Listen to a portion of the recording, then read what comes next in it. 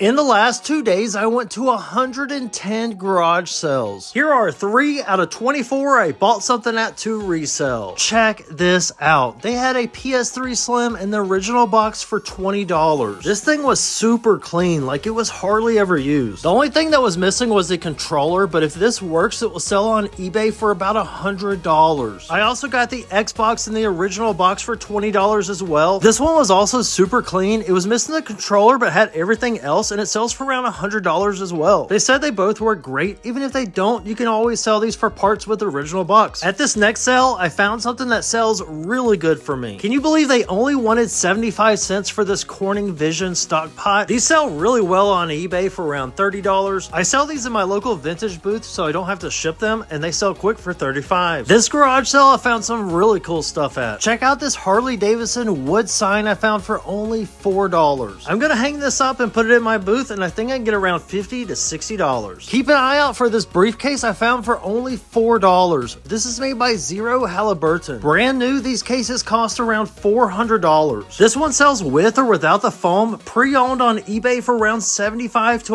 $100. Score!